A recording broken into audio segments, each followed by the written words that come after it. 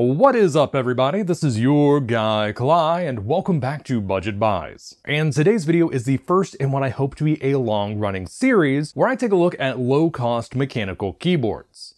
Now of course cheap doesn't mean free so the cost of these keyboards is definitely going to start adding up and because of that I want to thank today's sponsor Skillshare for making this video possible. But more about that later on. For now, I want to preface things by saying I am nowhere near an expert when it comes to mechanical keyboards. I have posted a few gaming keyboard reviews in the past, but those have all been membrane. However, even if I'm not an expert, this is not my first mechanical keyboard.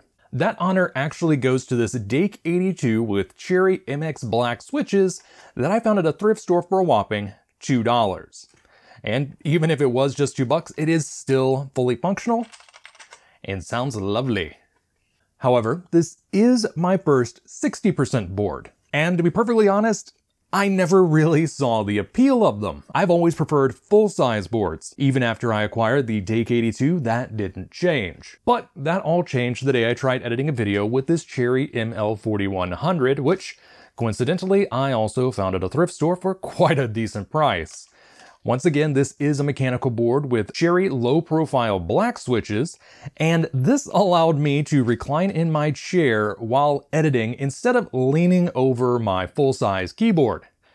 Ever since then, I've been in love. But enough about my past. This is the Lushujun DK61 60% or 61 key mechanical keyboard and is one of the lowest cost 60% mechanical keyboards that I've encountered on Amazon. Coming in at $45, though as of the recording of this video, it is currently on sale for $40, and that might still be the case by the time you watch this. Now, if you're wondering why I didn't go for the lowest cost of the 60% mechanical keyboards, that simply has to do with the features on offer. And while we're on the topic, I might as well mention that I have seen three distinct tiers when it comes to the 60% mechanical keyboards under about 90 to $100. On the lowest end, we have the 35 to $40 range, which have an integrated USB cable, unlike this board which has a detachable USB Type-C, as well as Bluetooth 5.0, unlike the 35 to $40 boards. Also, the 35 to $40 boards are going to have just a single color of LED, or if they do indeed have multicolor LEDs, the color pattern is going to be fixed. Unlike this board, which has full RGB, 20 lighting modes, including one that is customizable. But more on that later. Also, this particular keyboard does have reprogrammable keys using the software provided by the manufacturer, and I don't know if the 35 to $40 keyboards have that feature. Also, the features I mentioned for this keyboard do seem to be pretty standard in the second tier of these lower cost mechanical keyboards coming in at around 45 to $50, as well as the third tier of these lower cost 60% mechanicals, which come in at around the 55 to $65 range. Though that third tier also typically comes with hot swappable keys, which means you can use a special tool to pull the key switch out of your keyboard and replace it with anything you want. So for example, if you got tired of the clicky keys, you can pull the switch out and replace it with a linear key. But since this is a tier 2 board, it doesn't have that feature. Also, some of the switches in the 55 to $65 boards are optical and not purely mechanical. And what that means is that the key switches on those boards use an infrared beam as opposed to a physical connection like these do. And every time you press a key, you're breaking that beam as opposed to pushing two pieces of metal together. Now beyond that 55 to $65 range, you're going to have the more well-known name brand boards like Razer and Ducky, and we're not going to be talking about those today. However, if you did find a few 60% keyboards online in the 25 to $30 range, let me go ahead and tell you that 9 times out of 10, those are actually going to be membrane keyboards, and that other 1 time out of 10 is just going to be a set of keycaps. So be sure to double check your order before paying. Oh, and one more quick tangent about the membrane 60% keyboards. After my last keyboard review, the Booga one-handed keyboard from Five Below, I did a little bit of research on some wholesale sites using that keyboard as a pricing reference. And it turns out it might actually be possible for Five Below to start carrying $10 60% boards some of which actually claim to be mechanical, but I'm going to take that with a grain of salt. And I would love to see 60% keyboards in that store, even if they're just membrane. It's a great starting point for people getting into different profiles of keyboards. With all of that information out of the way, I guess I should probably talk about the key layout on this board, because while looking through the various models of these keyboards, I found that not all of the secondary functions on your keys are going to be the same. Heck, not even the location of the function key is the same between these. I've seen it in pretty much every location on this bottom right hand bar here. And to be perfectly honest, I wouldn't be surprised if some of them had it on the left hand side as well. So as a quick overview, we have the function keys on your number keys as well as the plus and minus. The tilde slash grave is here on the escape key. The tab key is actually a factory reset for some of the various functions we'll be talking about later. The R key allows you to toggle between wired and wireless mode. This whole block here is going to be your standard print screen, scroll lock, pause, insert home, page up, page down, delete, and end. Over here on P, we have increased brightness, and on left bracket, we have decreased brightness. On backslash, we have the key you hit to change the lighting pattern. On semicolon, we have the key you hit to increase the speed of your lighting pattern. And on apostrophe, we have the key you hit to decrease the speed of your lighting pattern. And yes, I didn't get the two of these mixed up. You hit the arrow pointing left to increase and the arrow pointing right to decrease. The enter key will change the color of the pattern where applicable. And over on forward slash, alt, menu, and control, we have the arrow keys. Also, if you hold down function and hit the Windows key, you lock it, which means whenever you hit the Windows key, it will not bring up the menu unless you unlock it first. Obvious jump cut because I forgot to mention a couple of other keys, like how the media keys are on A through H, and in order they are play pause, back navigation, forward navigation, mute, volume down, and volume up.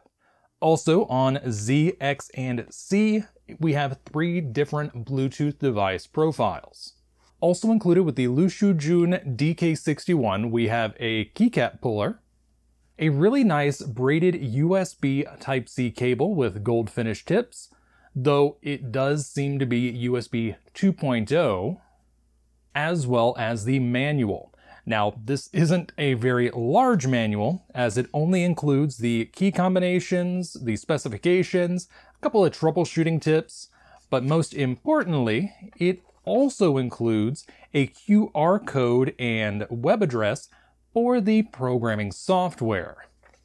And it would probably be surprising to some of you to know that that bit.ly address is going to take you to a Google Drive account which hosts the software. Honestly, that's a weird way to do it, but it works. And in some ways is a bit more reliable than going to a website for one of these companies because those tend to disappear the moment the manufacturer loses interest. Alright, here we have the software for the DK61, which is for some strange reason called TK10, and fortunately it's pretty straightforward. Up top you have the four tabs, with the first one being assignment, which is where you set what each key on the keyboard is going to do lighting, where you select your lighting pattern as well as its color, brightness, and speed where applicable. As you can see, there are 20 different patterns, and as such, I'm not going to be demonstrating them today, mainly due to the fact that it's going to pretty much double the length of the video. I know this because there's actually a version of this video that has the demo. However, if you do want to see it, let me know down in the comments, and if enough people chime in, I'll release the lighting demo as its own standalone thing. The Spectrum tab is where we set up the custom lighting profile, and you can change the color of each individual key to whatever you'd like. Just keep in mind that this is going to be a static profile and not animated. Last but not least, we have the macro tab, which is where you can make your own, well, macros. And the easiest way to do that is just to record one. Now I'm going to set it to the default one millisecond delay between each key press due to the fact that I don't want them all firing off at once, and then I'm going to type out my macro. Of course, a macro doesn't do anything if it's not assigned to a key, so let's go back to the assignment tab, select the escape key, and then we get to select between either the default setting, disabling the key, the macro, launching a program, or a keyboard function. Of course, since we're doing the macro, I'm going to go ahead and select the one I just created and click Save. Also, on the left-hand side of the screen, you've probably noticed that you can save and load profiles, and that makes things easier if you want to switch between things without having to reprogram each individual key every single time. As for what Sync Program does, I have no idea, mainly due to the fact that it is not mentioned in the manual or even the official companion video that you can find in the same Google Drive as the software itself. Alright, I guess the time has come for me to demonstrate the typing ability of this keyboard, but first, a word from our sponsor. Skillshare is an online learning community with thousands of inspiring classes for creative and curious people.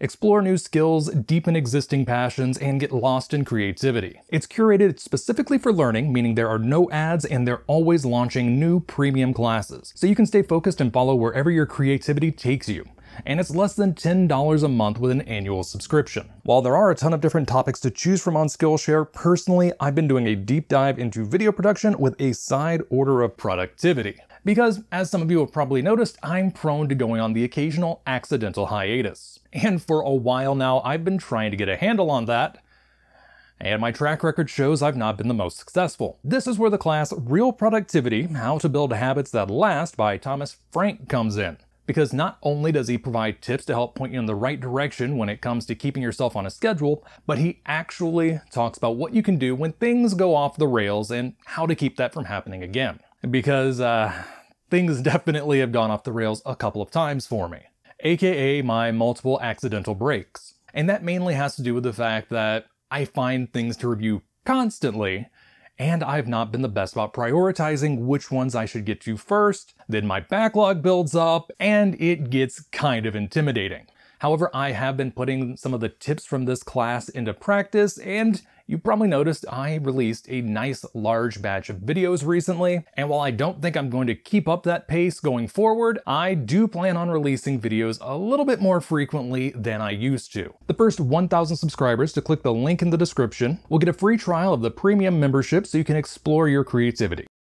Since we're not going to be using this in wired mode, the first thing I need to do is turn the keyboard on. There we go.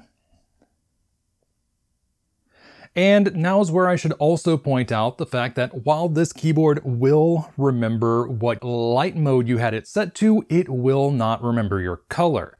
It's going to choose the highest possible option, which typically means you're going to be getting the random RGB unless it's going to be one of the lighting modes that only has rainbow available, or it is the custom mode. But for now, let me go ahead and set it to green because, as you can probably tell, I like green. I'll also take it out of wired mode by holding down function. And as you can see, the R key is lit up right now. That means it's in wired mode. Now it's in wireless mode, as you can tell by the fact that one of the Bluetooth profile keys turned blue. And for this part of the video, I'm going to be connecting it to my tablet. So let's go ahead and move the keyboard down and bring the tablet in. Let's go ahead and turn it on, swipe,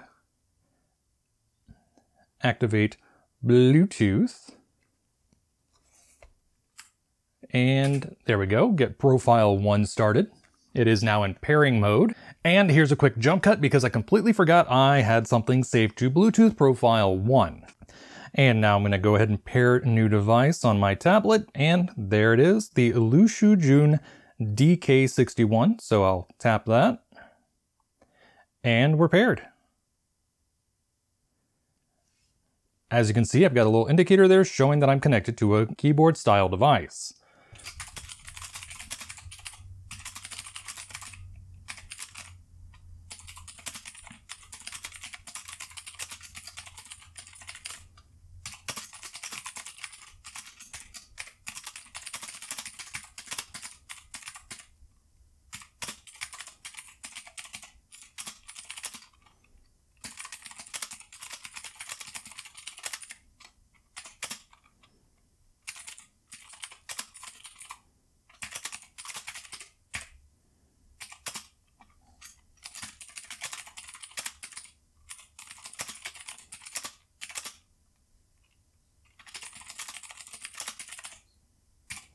Also, I should point out that the macro that I made earlier was indeed saved to the keyboard. So until I do a factory reset every time I hit escape, it's gonna type out fart.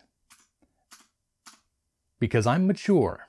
Now, some of you are probably wondering what kinds of keys are used in this board, so using the puller included, let's go ahead and just pluck that key really quick. And as you can see, this uses blue switches, which are the clicky variety. Though red linear switches, which are silent, are also available. As for the brand of switch, let's switch over to a quick macro shot and show you that these are Zorro switches. And there's not really that much information going around about these. The most information Deskthority has is that these are clones of Cherry MX Blues. Though I have seen one comment on Amazon claiming that these are manufactured by Kailh, I have yet to be able to verify that. And because of that, I can't tell you how many actuations the manufacturer claims that these are capable of, nor can I say how reliable they are. So keep that in mind going forward. And that is pretty much everything I have to say about the Lushujun DK61.